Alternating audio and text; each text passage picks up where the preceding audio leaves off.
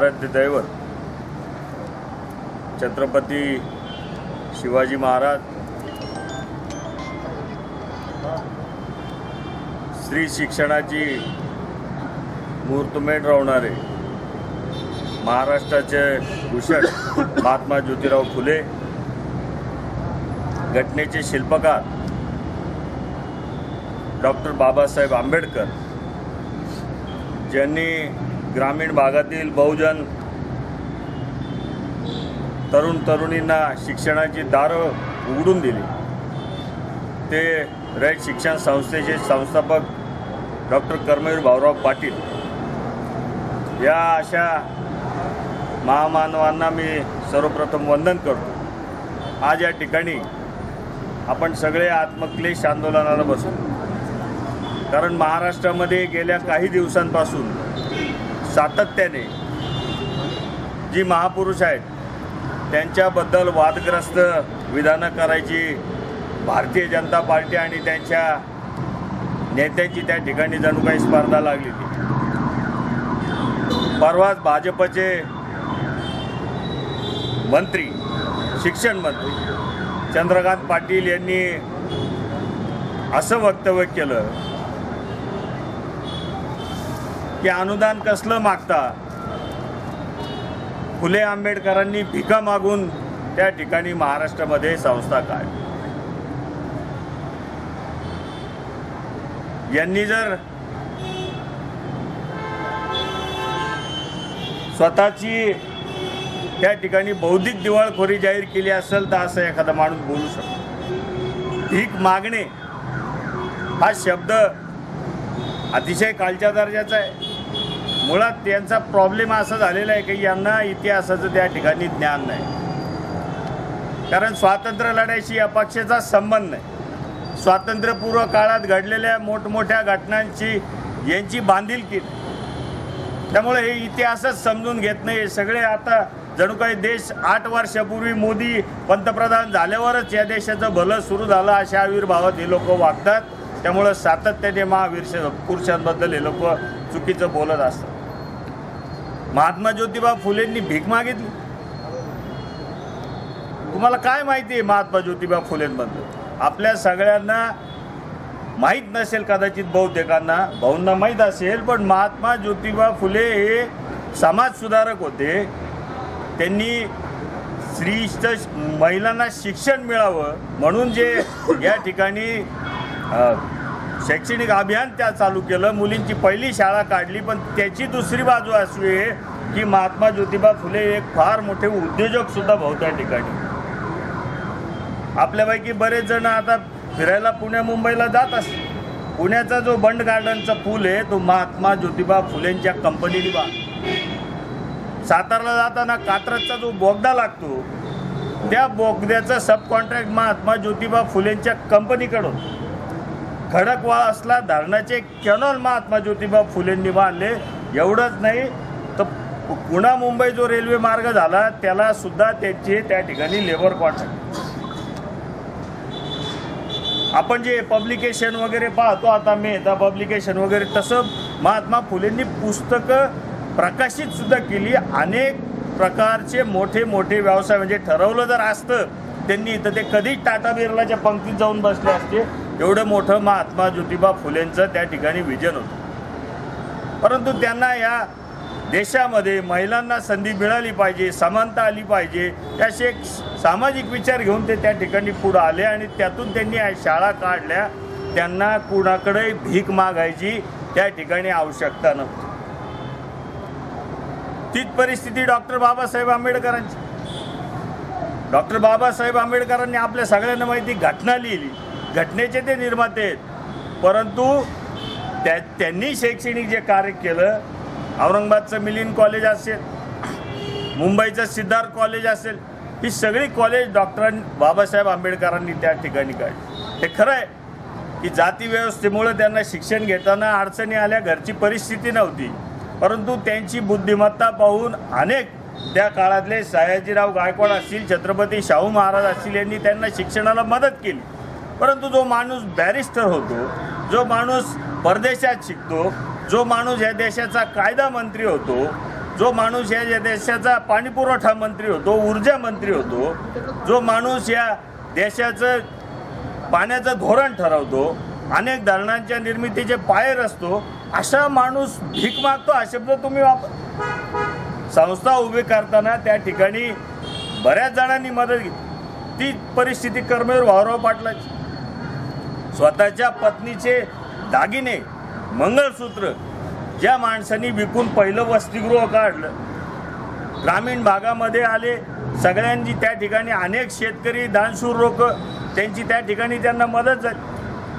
आणि मग असं असताना एक उदात्त हेतू ठेवून ते जर लोकांपर्यंत गेले आणि समाजाचं योगदान घेतलं तर चंद्रकांत पाटलाला लाज वाटली पाहिजे तर त्यांनी त्या ठिकाणी भीक मागितली असा शब्द वापर. मुळामध्ये यांना माहीतच नाही. यांना खरा इतिहास आपल्यापर्यंत पोहोचवायचा नाही माझे इथल्या तरुणांना विनंती. अनेक माध्यमं आहेत आता की ज्याच्यामार्फत तुम्ही हे सगळ्या गोष्टी जाणून घेऊ शकता.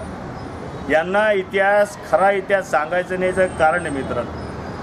कर्मवीर भाऊराव पाटलांनी रयत शिक्षण संस्था ज्या वेळेस चालू केली त्याच्या आठ दहा वर्ष आधी त्यांनी एक वसतिगृह काढलं.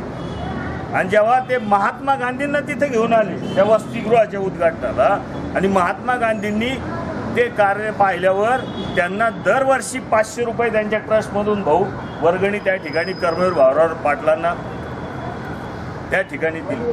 हे महात्मा गांधी भाजपाला लोकांपर्यंत येऊ द्यायचं नाही. त्यांना सारखं कोणाला तरी काही. डॉक्टर बाबासाहेब आंबेडकरांनी हे जे सगळं केलं त्यांना मुंबईच्या गव्हर्नरनी सुद्धा त्यावेळेस मदत केली होती. नऊ हजार रुपये वर्षाला डॉक्टर बाबासाहेबांच्या शैक्षणिक कार्याला मुंबई गव्हर्नरनी जेव्हा ते कार्य पाहिलं एकोणीसशे अठ्ठावीस साली तेव्हा त्यांनी बरं ती मदत कमी पडायला लागली.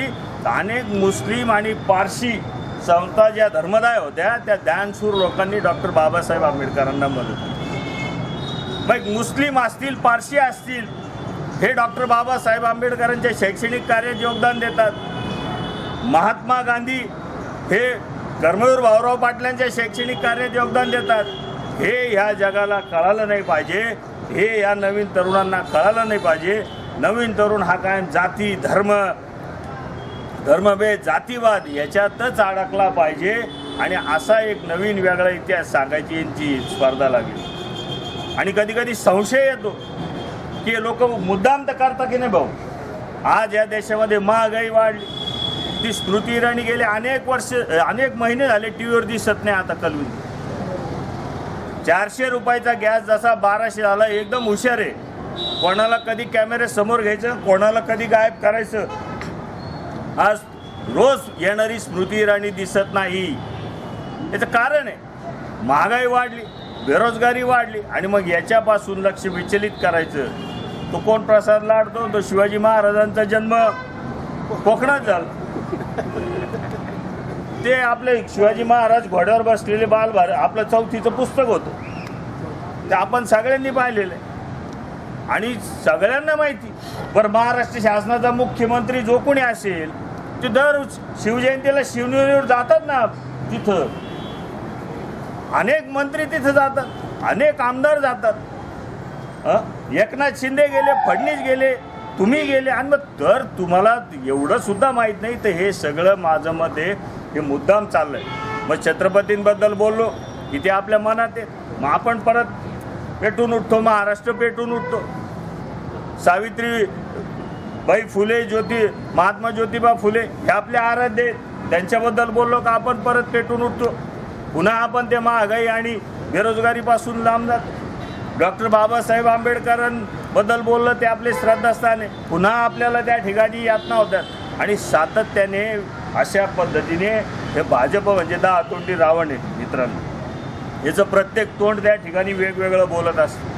म्हणून या अशा गोष्टी त्या ठिकाणी महाराष्ट्रामध्ये घडतायत आणि मुळामध्ये आपण ते सहन करतो आता प्रश्न असा आला मागाशी कोणतरी म्हटलं हे आंदोलन करण्यापेक्षा वेगळं काहीतरी. आता जोडे तरी किती वेळा मारायचे? सत्तारला झाले का आता चंद्रकांत पाटलाला मग परत प्रसाद लाडला परत नारायण राणेला? म्हणजे आपल्याला यांनी रोज काहीतरी बोलायचं आणि आपण यांचं तोंड धडायचं. हे असं गेल्या अनेक दिवसांपासून चालू आहे. मी या सगळ्या प्रकाराचा त्या ठिकाणी निषेध करतो. आणि चंद्रकांत पाटलांना आता राजीनामा मागून येतं काही घेणार?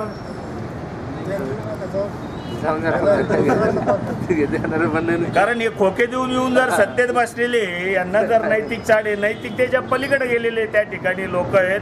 त्यामुळं मी या चंद्रकांत पाटील असेल प्रसाद लाड असेल इव्हन आपले ते राज्यपाल कोश्यारी त्यांनी तर काय विचारूच नका. म्हणजे ज्याचा आपला संबंध नाही ज्याचा आपला अभ्यास नाही ज्या महापुरुषांचा बरं मला एक कळत नाही भाऊ. की हे शिवाजी महाराज डॉक्टर बाबासाहेब आंबेडकर महात्मा ज्योतिबा फुले शाहू महाराज कर्मवीर भाऊ हे आपल्या श्रद्धास्थानांबद्दलच कसे बोलतात हे आजपर्यंत वाजपेयींबद्दल कुणी काही चुकीचं बोललं नाही भाजपचं माणूस? आजपर्यंत वळवलकरबद्दल कुणी चुकीचं बोललं नाही भाजपचा माणूस? आजपर्यंत त्या ठिकाणी त्यांचे त्यांचे जे जे कोणी श्रद्धा मोदींबद्दल चुकीचं नाही बोलला एखादा भाजपचं माणूस? म्हणजे तुमचे जे श्रद्धास्थान आहे तिथं तुम्ही एकदम व्यवस्थित बोलता. आणि जे महाराष्ट्राचे बहुजन समाजाचे श्रद्धास्थान आहे तिथं तुम्ही तुमच्या आखलेचे तारे तोडता. महाराष्ट्राची जनता सगळ्यांच्या आता हे लक्षात यायला लागलेले ती काही तुम्हाला माफ केल्याशिवाय राहणार नाही. मी पुन्हा चंद्रकांत पाटील असेल कोश्यारी असतील दुलाड असेल आणि आणखीन कोणी त्यांचे लोक असतील ज्यांनी ज्यांनी म्हणून छत्रपती शिवाजी महाराज महात्मा ज्योतिबा फुले सावित्रीबाई फुले डॉक्टर बाबासाहेब आंबेडकर शाहू महाराज कर्मवीर भाऊराव पाटील यांच्याबद्दल अनुद्गार काढले. त्या सगळ्यांचा मी त्या ठिकाणी निषेध करतो आणि थांबतो. जय हिंद जय भारत.